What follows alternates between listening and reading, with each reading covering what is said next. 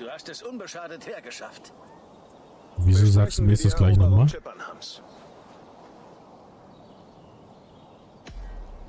Planen wir den Angriff. Doch was auch passiert, Elfred gehört mir. Sie erwarten uns nicht, also müssen wir auf dem Weg wenig Gegenwehr befürchten. Also schleichen wir uns über die Felder an? Wenn sie uns sehen, ist es bereits zu spät. Deine jungen Sachsen können unsere Späher im Westen sein. Wir halten ihre zarten Hände lieber aus dem Getümmel heraus. Meine Kundschafter haben mir berichtet, dass die ersten Edelinge bereits eingetroffen sind. Gut. Wenn wir die Tarne ergreifen, kommen sie uns nicht in die Quere, wenn ich mir Elfred hole. Und wir könnten sie dazu bringen, einen neuen König von West Saxon zu unterstützen. Ich werde sie unterwerfen. Nimm die Orla von Tudor mit. Sie könnten bei der Überzeugung der Tarne behilflich sein. Bruder, nimm mit Erke und Stoe die Feste ein. Erledigt jeden Sachsen, der sich in das Dorf wagen will. Gerne, Eivor. Jeder kennt seine Aufgabe. Mögen ihre Klingen an unserem Mut zerschellen. Mehr stand nicht im Manuskript, Alisea, ne?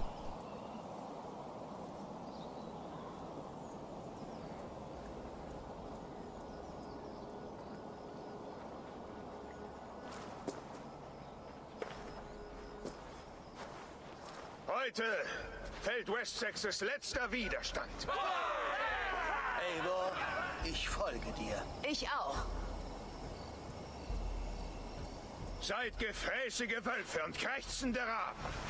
Bleibt standhaft mit der Axt in der Hand. Dann stehen wir diese letzte Schlacht gemeinsam durch.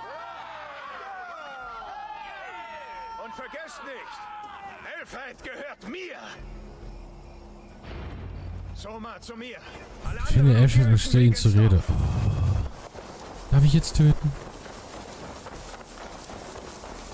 Ich habe eher das Gefühl, dass die auf einen lauern. Als ob das hier äh, unbemerkt geblieben ist. Nähert euch dem Dorf und wartet auf mein Zeichen. Wenn ich entdeckt werde, wird das unschön.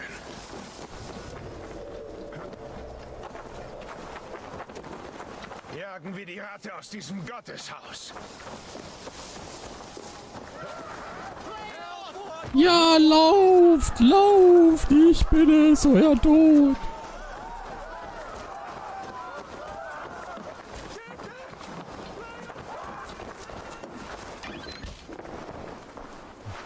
Nichts Besonderes für mich drinne.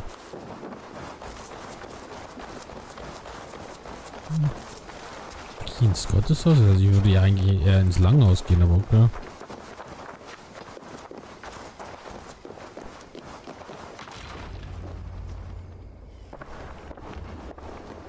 Elfred! Stell dich mir! Und meine Fackel wird den Rest von Westsexe verschonen! Hast du wirklich geglaubt, mein König würde dir den Rücken zukehren, Eivor, wenn deine Klinge noch vom Blut von Wareham trieft? Geh zur Seite, Godwin. Ich bin wegen Elfred hier. Elfred ist längst fort. Und dieses christliche Fest ist nichts als ein Honigtopf, um die Wespen anzulocken. Wo ist er? Er sammelt seine Verbündeten. Alle, die Westsexe unter einem Gott vereint sehen wollen. Du kannst Englerland nicht mit einer Horde Bauerntölpel und gottloser Heiden erobern. Wenigstens würde ich sie nicht zum Sterben zurücklassen, während ich mich wie eine Ratte davonschleiche. Du hast keine Ahnung von Pflichtgefühl oder dem Treuedienst, den ich bereitwillig leiste. Sein Plan für Englerland, für die ganze Welt, ist meinen Tod wert. Dann sing dein letztes Loblied. Komm, Rabenera, lass uns kämpfen.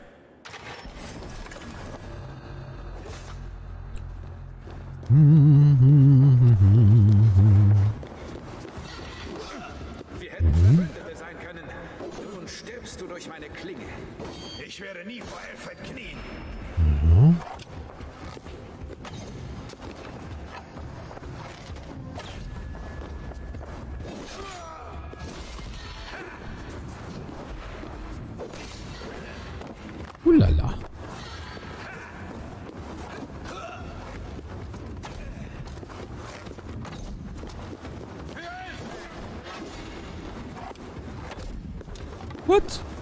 denn das jetzt nicht gezählt?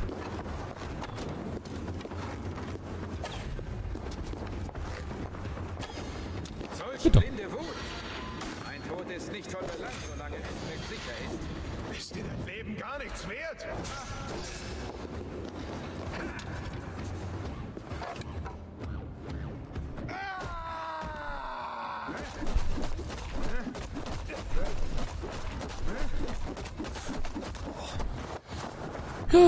Immer wieder herrlich.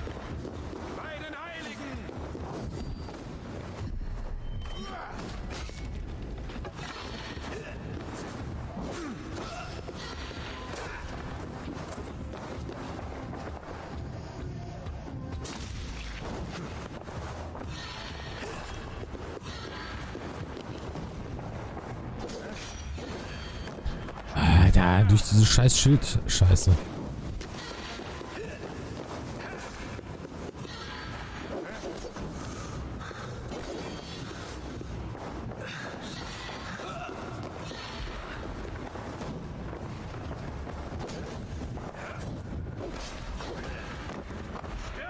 Das so verdammt gut kontern.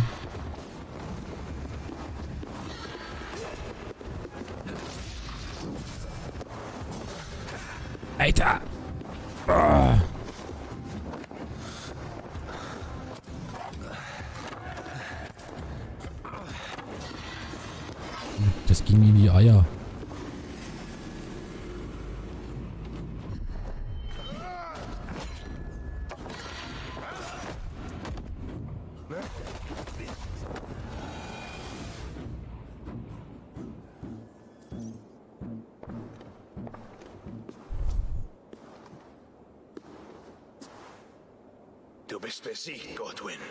Besiegt? Nein, sicher nicht. Durch meinen Tod wird mein König leben. Alfred hat dich ausgenutzt. Er warf dich mir in den Weg. Doch wofür? Er verzögert nur das Unvermeidbare. Dann töte mich. Es spielt keine Rolle. Hier stehst du nun blutverschmiert und außer Atem, doch keinen Schritt näher an meinem König oder seinem Thron. Diese Insel wird niemals deine Heimat sein, Eivor. Du wirst sie weder mit Gewalt noch mit anmaßenden Worten erobern können. Wir Sachsen werden standhalten, Schulter an Schulter gegen Diebe und Tyrannen, die ihren gierigen Blick auf unser Englerland richten.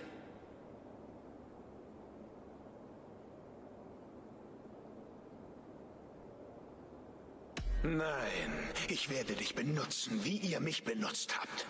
Nach nur ein paar Stunden mit meinen Männern wirst du uns zu deinem Spatzenkönig führen. Das werde ich nicht zulassen.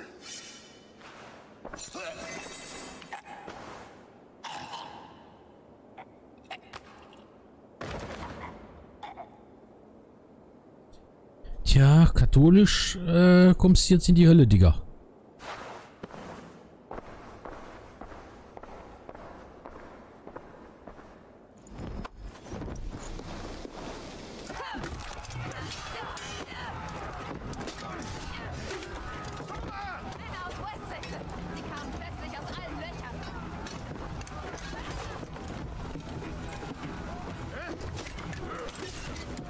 Anderen können fliehen. Ich kämpfe weiter.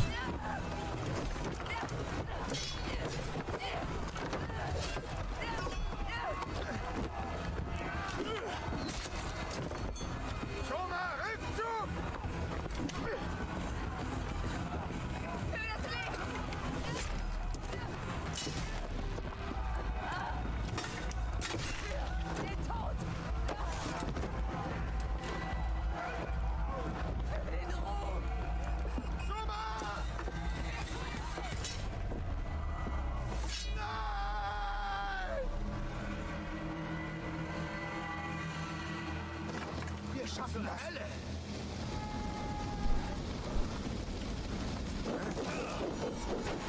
Ach, Jungs. Gudrun in Langenhausen bewacht die Tarn. Ah, okay.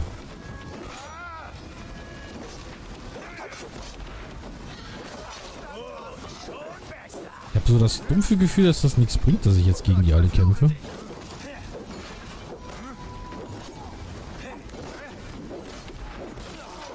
Trotzdem machen wir es mal.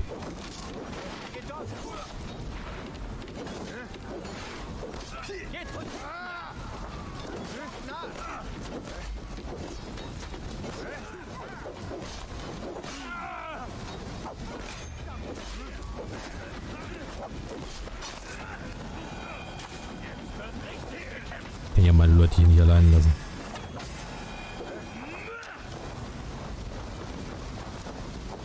Hui, hui, hui, hui, 147, 26. Dann bin ich doch gleich hier. Gudrun, du musst mit den anderen kämpfen. Diese Männer werden sich nicht ergeben. Und so ein kleiner Hasenfuß hat sich hinter dieser Tür verschanzt. Ich finde einen Weg hinein.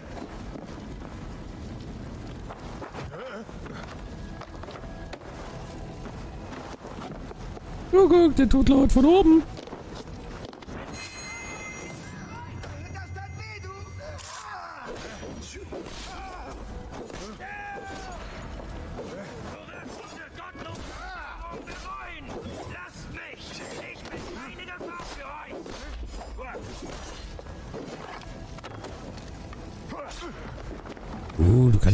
Pieksen.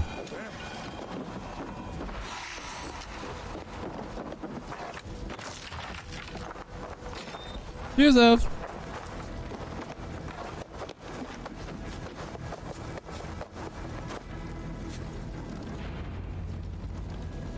So, mit dem muss ich mich nicht weiter kümmern. Ey, hallo, Arschloch. Ich muss wissen, ob Bruder die Feste erobert hat. Gute Arbeit, Gudrun. Die anderen schlagen sich hoffentlich ebenso gut. Hast du Elfred gesehen? Aber unsere jungen Sachsen wurden überfallen. Andere verwundet. Nein, aber unsere jungen Sachsen Ei, ei, ei, ei, ei, ei, ei. Die brodelt aber die Kacke! Zum Verschnaufen ist jetzt keine Zeit. Ich kann nicht. Ach, Unwald. Dunkelheit in meinen Augen. Sie erdrückt mich. Ich habe Angst. Ich hätte schneller sein müssen. Nein.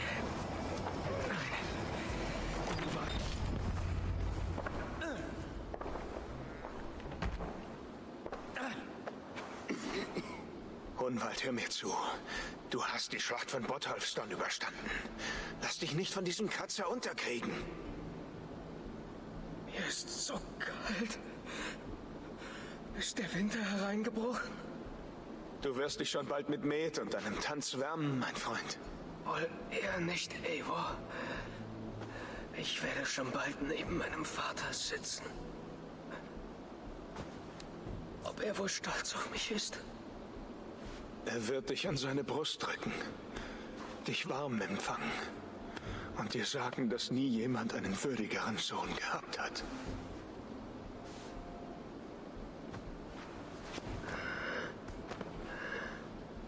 Ich bin froh, dich gekannt zu haben, Eivor.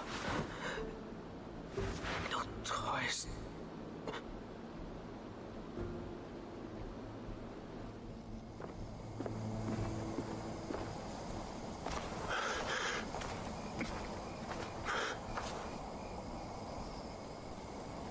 Um ihn tut's mir irgendwie voll leid, auch wenn er genervt hat.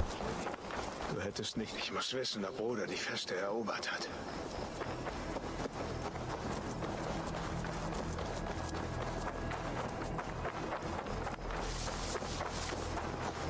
Tja, ja, aber du wurdest gewarnt, wenn du das machst.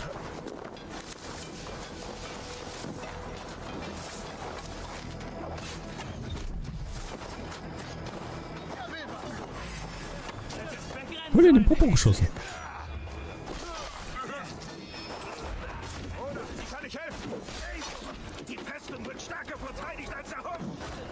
Ich Störe das Tor der Festung?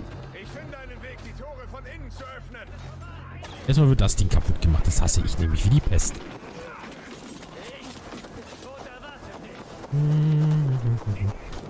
Oh. Ihr seid so blöd, einmal hier rüber zu klettern.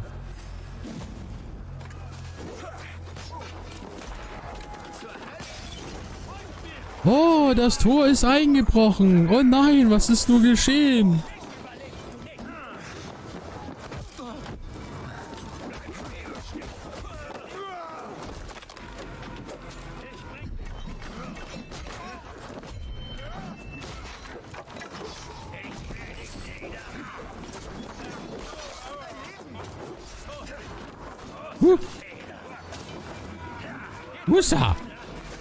kannst aber mit dem Hammer schon gut umgehen. Ach nee. Pike.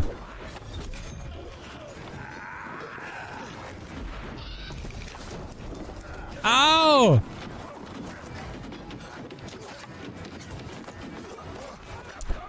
Alter! Der Typ da ist ein Gegner, dann tötet auch den Gegner und nicht mich.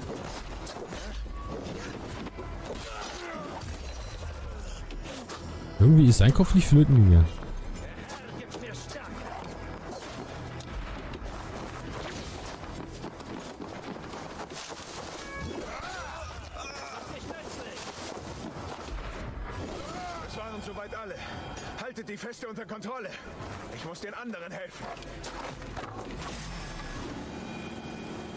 Anderen? Hat doch jetzt jedem geholfen. Hm, jetzt schießt hier kein Arschloch mehr.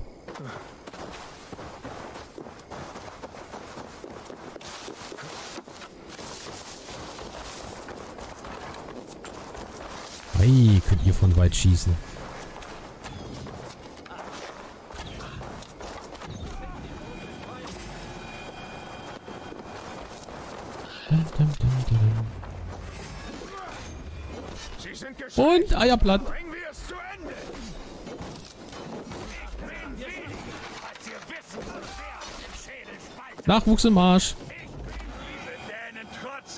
Gott und dem König. Siege die Sachsen. Kein Problem. Gerne.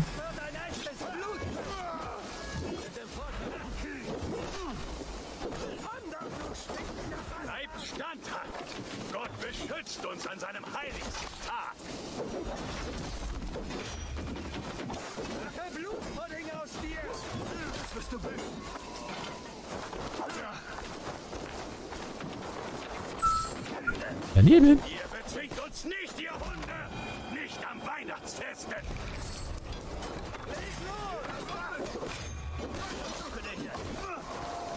Hör auf mit einem komischen Ding da rumzuschlagen. Das ist ja pervers. Bleibt standhaft. Gott beschützt uns an seinem heiligsten Tag. Boah, kannst du mit dem Scheißgesülz mal aufhören?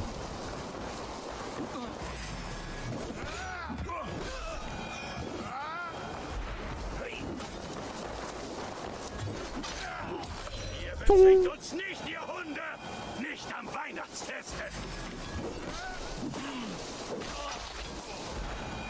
Unser Ärmchen noch verloren. Attentat, der liegt doch da. Ja, okay. Hey. Diese Dänen trotzen unserem Gott und dem König.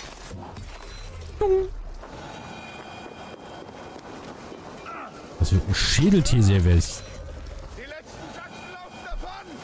Die Schlacht ist gewonnen. Das war's. Sie fliehen. Echt mal langweilig.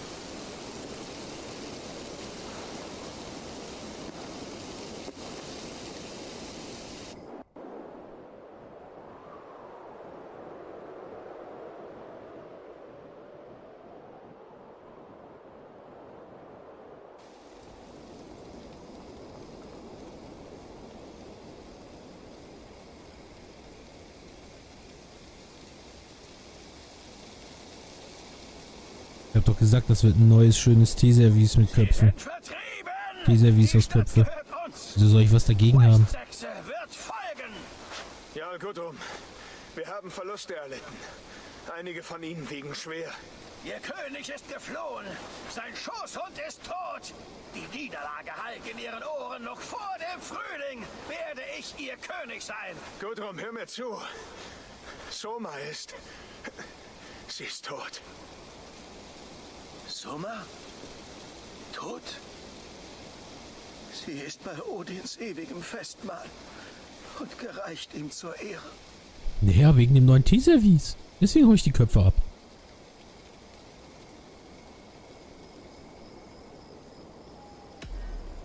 Viele kämpften für uns und fielen. Sie verdienen Frieden. Bist du bereit, sie zu ehren?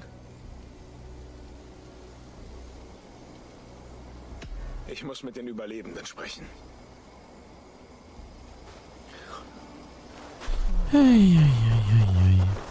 Erke, du trägst deine Stirn in Falten. Stowe trifft dies alles schwer. Du Botox hat nachgelassen. er ist ein Mann des Glaubens mit hohen Werten. Kein Wunder, dass es ihn quält. Wieso hast du Idiot schon wieder die Kapuze auf? Ich bringe ihn zurück nach London. Vielleicht findet er dort Trost. Du bist sein Trost, nicht die Stadt, die du schützt. Er ist in guten Händen.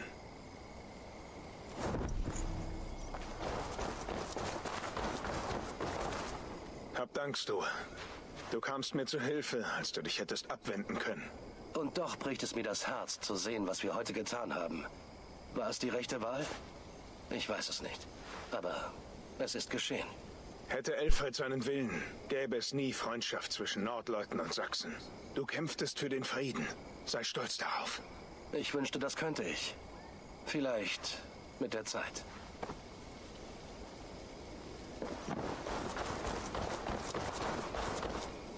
Glaubst du, es wird ein Tag kommen, an dem der Sieg nicht mehr ausreicht? Du kannst jederzeit gegen mich kämpfen, wenn du eine völlige einnässende Niederlage erleben willst. Allein meine Anwesenheit würde das unmöglich machen. Genieße diesen Sieg, Eivor, was er dir auch bringen mag. Nur Feiglinge glauben, sie leben ewig.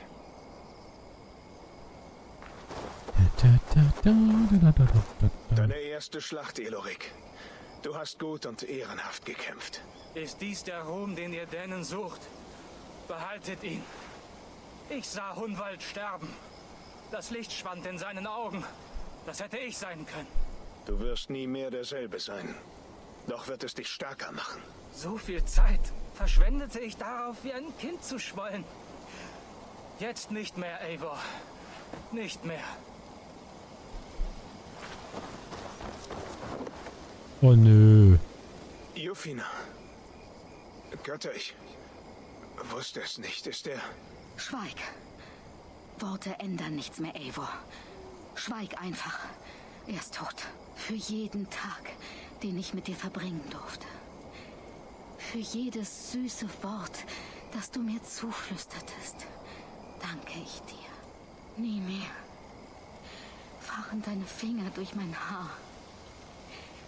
Nie mehr umschließen mich deine Arme.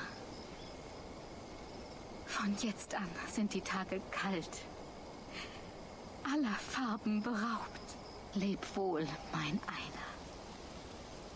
Mein Herz stirbte mit dir. Was übrig ist, macht weiter.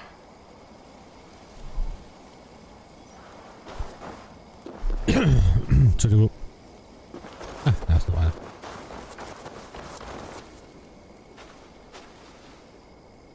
Es ist vollbracht, Bruder. Du hast gut gekämpft. Ich Oh, sah der. ihn, Eivor. In meiner dunkelsten Stunde stand Brody an meiner Seite. Und alles war wie früher. Dann endete die Schlacht. Nun spüre ich ihn nicht mehr. Es wird weitere Schlachten geben. Ja, und dort wirst du mich finden, Eivor. Knietief warte ich durch Tod und Blut mit Brody an meiner Seite, bis eine Walküre mich holt. Du hast mir mehr gegeben, als ich je hätte verlangen können. Wie soll ich das wieder gut machen? Vergiss ihn nicht. Wenn ein Krieger betrauert wird, seine Taten gefeiert und seine Lieder gesungen werden, kann er niemals sterben.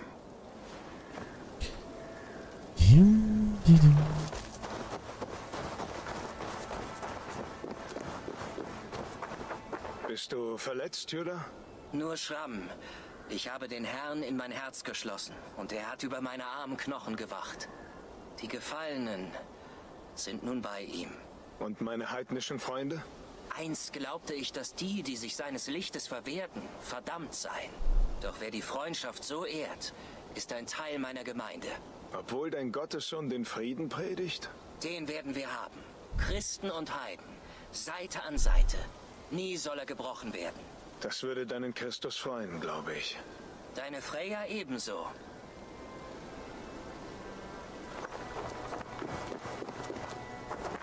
Er wird richten die Lebenden und die Toten. Olaf, Gedrick, ihr seht so ernst aus. Solch heilige Feste mit Blut und Mord zu stören. Ich fürchte, dass Gott mir das nie vergibt. Wäre dein Gott auf Elfreds Seite gewesen, wir hätten nicht gesiegt. Also tatest du vielleicht doch sein Werk. Elfred lebt noch. Und nun bin ich ihm zweifach Feind. Gib mir noch einen Kampf und ich mach gerne drei daraus. Er ist zahnlos und kaum eine Bedrohung für uns. Dieser schlüpfrige Aal mag dich noch überraschen. Der Pfad der Sühne ist lang und einsam. Bald muss ich meine ersten Schritte darauf tun. Deine Schulden bei mir sind getilgt. Ich wünsche dir eine gute Reise.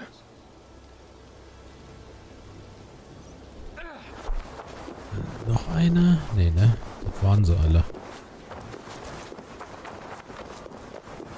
Ja, Sora ist tot. Deswegen. Mein Herz ist schwer. Viele kämpften für uns und vielen. Sie verdienen Frieden. Bist du bereit, sie zu ehren? Ja, mehr gibt es nicht zu sagen.